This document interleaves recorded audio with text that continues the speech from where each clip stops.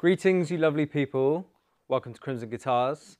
This is not the Great Guitar Giveaway. This is a Luthier's Teardown.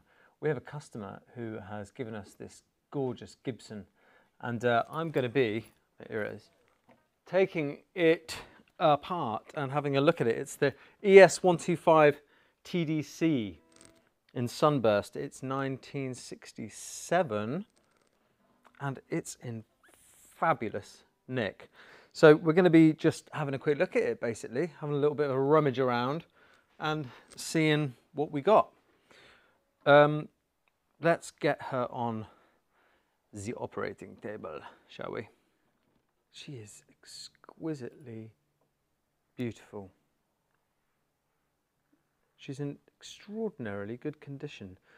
There are no bumps, no scratches. Um, all there is really is just the ravages of time on the finish.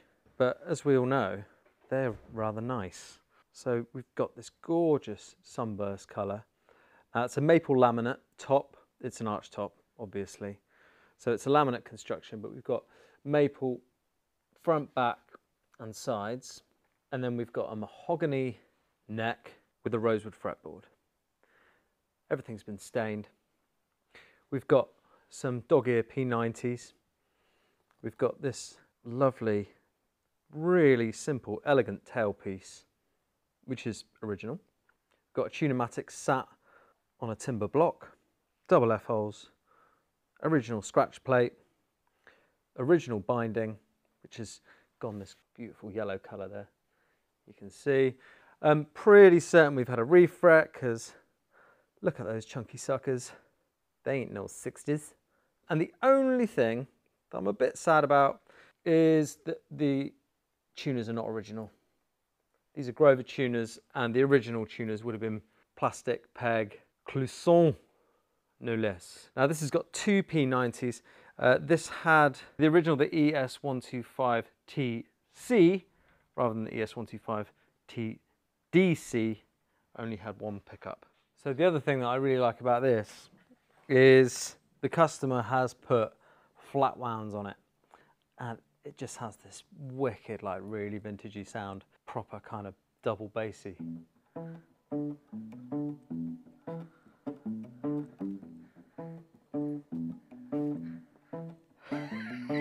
I wish you could see what Sophia's doing. She is dancing.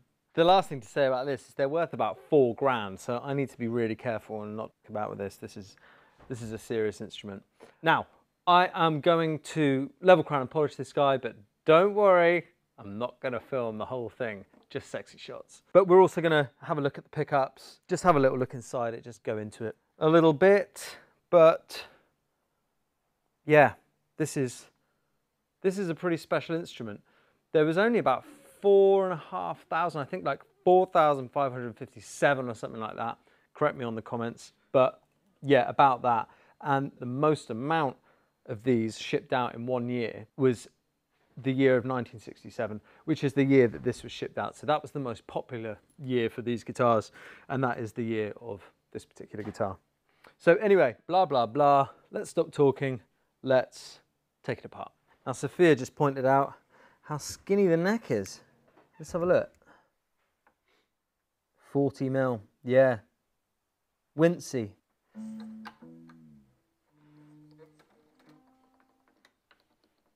I've just taken the strings off and do you want to see something adorable? So under here, we have a piece of leather to keep the tailpiece off the body. Guess what it is? It is a stinky old watch strap. Isn't that sweet? I love finding all these old treasures. I want to smell, you know I like smelling things. I won't smell it. Oh, yeah, lovely jubbly. Now, the other thing is that, interestingly, underneath our floating bridge, we've got some holes which do correlate to the Tune-o-matic. But I thought that these just, I thought these always came on a, on a wooden bridge. So I don't know why they're there. Any ideas? Ooh. Okay, well those screws are mashed up. So let's let's try these ones. Now, I've got to admit, I'm never quite sure what I expect to find underneath pickups. Ooh.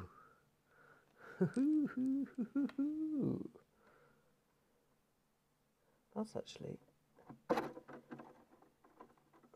My god, I feel like they're to fall apart. So, this is cool, man. This is way cool. You can see. You can see the wind, you can see the shape of the wind and the tape around it. That's very cool. I like that.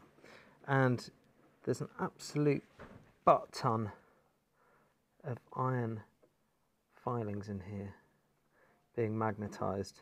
We should definitely clean them up. But that's so cool. That's so nice that you can see the uh, the winds. I love that.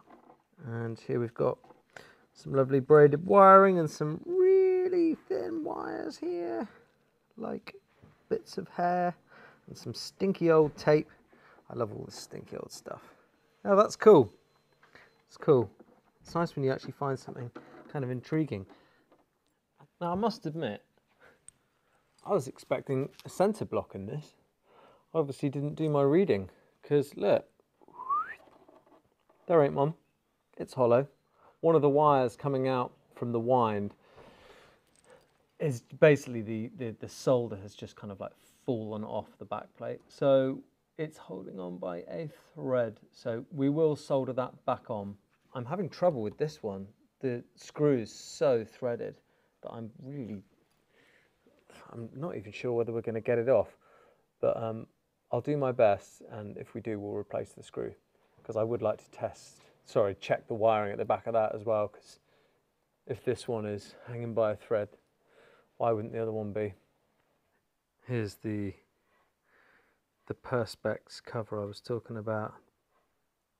And inside is the wind. Okay, I've become slightly obsessed by this threaded screw. I can't leave that like that. So what I'm going to do is I've got a nut slot file and I'm going to try and make a new slot in there so I can take it out and throw it in the bin. So let's try against my better judgment. I might put some tape down here to protect the surface. I keep having to remind myself, four grand, four grand.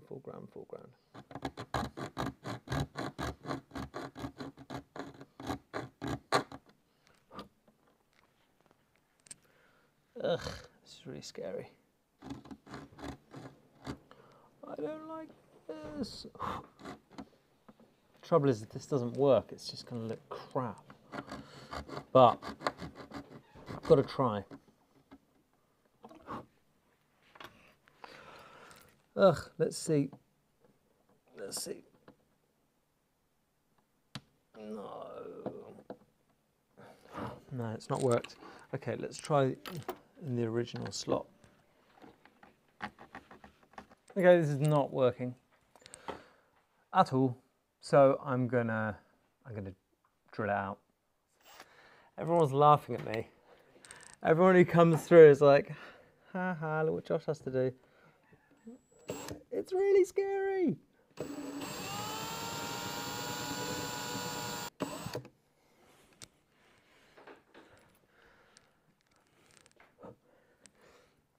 This is going to take ages. Okay, we're getting close now. In a minute, the thread is just going to fall off. Now, what I really don't want to do is like go kablam and go all the way through the body. So let's just see if I can not do that.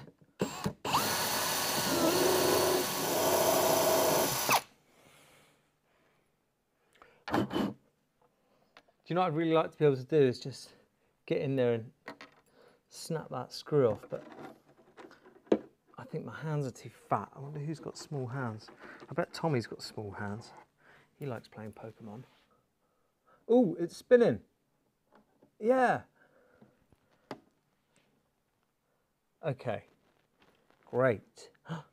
yes. Okay, there we go. It's off.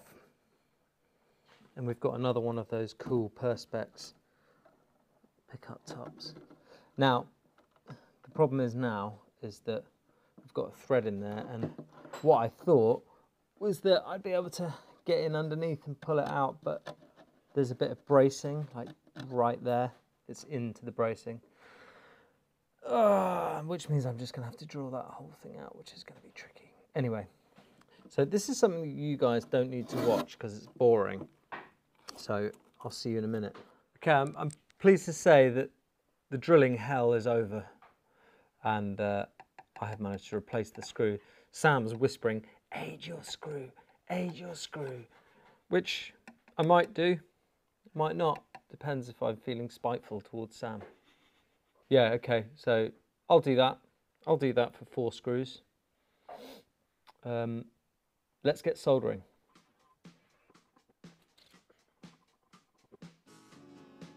Okay, before I um, fully close this back up, I think I better try it. See that all that solder is taken.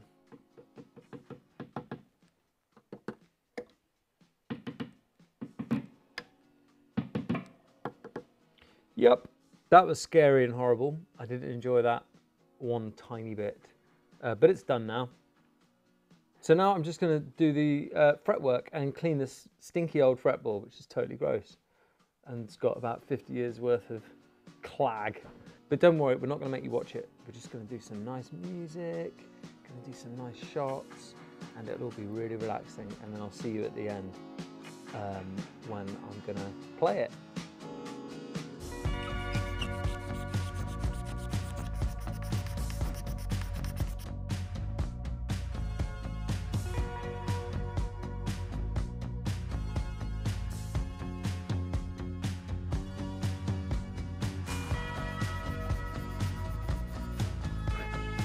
Very important to keep your nuts clean.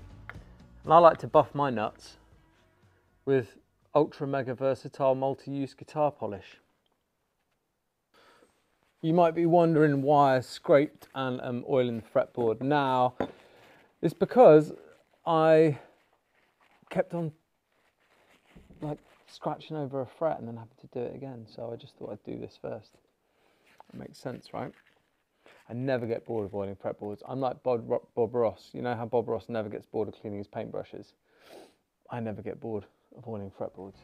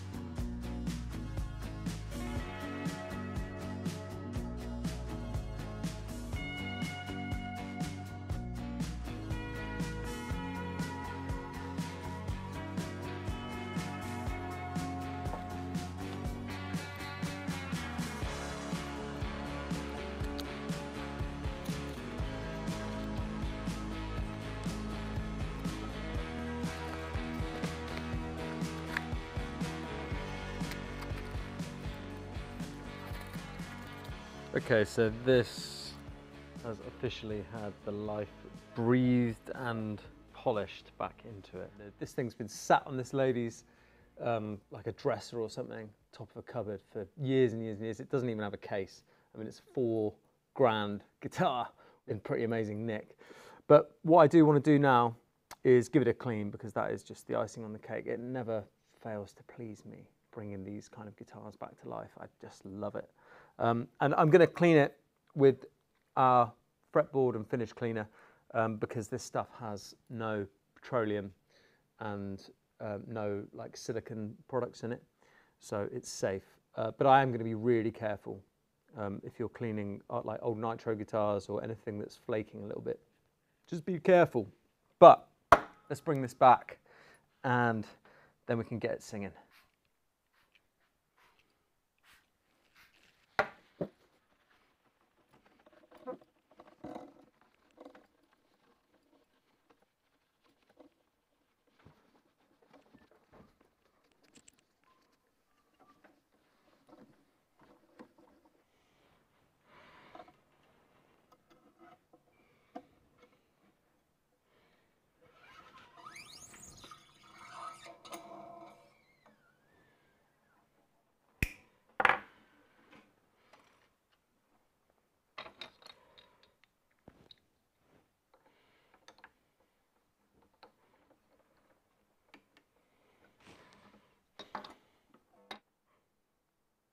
And just like that, we have another ES125 TDC back in the game, off the shelf and back in the world, making music again, which makes me very happy, very happy indeed. I love doing this. I love restoring these old beauties. And we do this a lot at Crimson. So if you've got anything you want, kind of bringing back to life, bring it to us. We don't just make guitars and tools and teach people how to make guitars. We restore guitars as well. So remember that and send us in your instruments because we'd love to get them back on track. Uh, let's do a little demo of this guy. Like, subscribe, and uh, let us know how it's all going. Nice one, guys. See you later.